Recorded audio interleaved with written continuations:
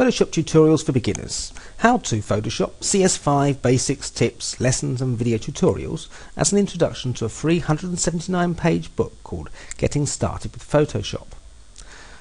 Photoshop CS5 can be a bit overwhelming for people to take on. This leads to many people only using a few features of this program that they are comfortable with without ever realizing the full potential of this software. Taking lessons and tutorials are a great way to expand your knowledge of Photoshop CS5 and give you some hands-on experience. Photoshop has many features and options to tackle and learn. By taking small steps at a time, you can explore what Photoshop offers to use, you, to use them to your best advantage. Here is only a short list of the many things you can look forward to mastering through basic Photoshop CS5 video tutorials. You will build a foundation from which all of the features and operations will come from. These building blocks include screen areas, layers and styles, droplets, actions, and even the development of new images. This will also give you an introduction in understanding images. This should show you how to experiment with the blend modes and determine the vector from the bitmap, bit, graphics.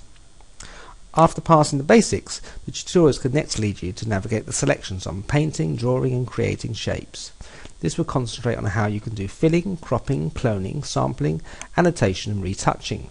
You appreciate how the web in general is structured, and you will learn how graphics and animation basically operate. You will learn about browsers, JavaScript, platforms, backgrounds, positioning, monitor resolution, and interpolation at the next level. Any Photoshop task will bank heavily on colors. This part of the tutorial will help you explore the best color choices for your web page. You can learn how to use colors, explore their modes, and choose them suitably. If you find yourself lost at this point and unfamiliar with many of these terms, a Photoshop CS5 tutorial is even more important for you to take in order to make the most of this program. Now that you've seen the significance of taking lessons for your Photoshop program, you can start exploring the many options for you to learn. Here are some of them. Photoshop websites, YouTube channels and blogs are a great way to see the different techniques that Photoshop CS5 can actually do, with thousands of free tutorials to choose from. Professionally made video tutorials are a great option to learn how to, how to Photoshop fast with an organized method of learning that will teach you the real basics of Photoshop CS5 without getting overwhelmed. There are also sample Photoshop video tutorials that you can download for free and will at least show you what to expect from a particular set of paid Photoshop training videos.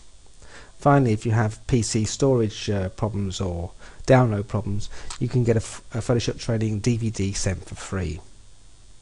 Online Adobe Photoshop CS5 tutorials provide the best opportunity for people to maximize their program and skills to become productive and creative. So take the initiative now. To grab your free 179 page report on how to get started with Photoshop, make sure you click on the link below the arrow or visit www.learnphotoshopnow.com forward slash blog forward slash free dash blog. Thanks very much.